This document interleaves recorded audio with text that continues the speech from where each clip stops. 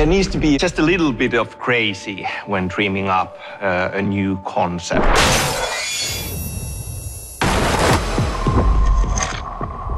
I'm Sam Lake, creative director at Remedy. In Quantum Break, time is breaking down. This is just one insane, memorable moment that our heroes in the game 60 seconds, Jack. will have to survive and navigate through fighting their enemies.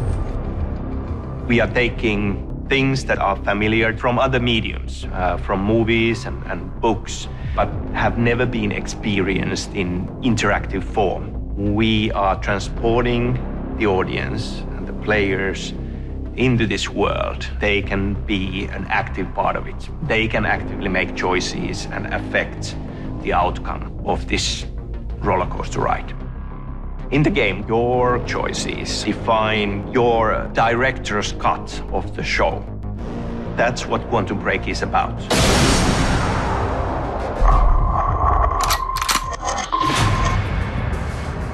It's, it's uncharted territory. Nobody's done this before. It's really being enabled by the next generation Xbox. I'm not gonna hurt you, but I can't let you go! Zero state. I think the first thing people will notice is the facial animation. We have digital doubles of the actors, which means that, that basically every nuance of an actor's performance is captured on screen. We can build more complex uh, facial and body rigs, more complex in-game animation systems.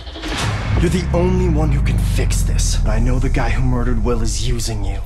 The thing that excites me most about the next gen Xbox is bringing characters to life, making them more than just cardboard cutouts. Paul said people would try to steal our research. It's probably the most important thing to nail down in a story driven experience. We're able to deliver these awesome set pieces of action. We have beautiful destruction, if you will, where you can see kind of the intricate detail of little specks of dust, but the scale is massive. We have uh, physical simulation software that we use in order to actually really destroy these spaces. And we can run with that time, and then we can stutter and jump between different times during that destruction. A modern blockbuster movie and show you a huge scene of destruction with all its glorious details. Now, in Quantum Break, we can do better. We can transport you into a moment like that.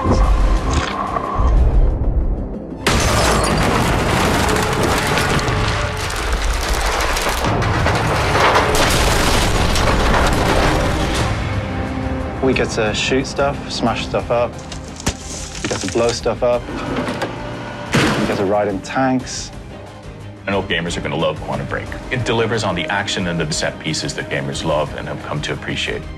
With Quantum Break, it almost feels like a dream come true. It feels like we're in a sweet spot as a creative force.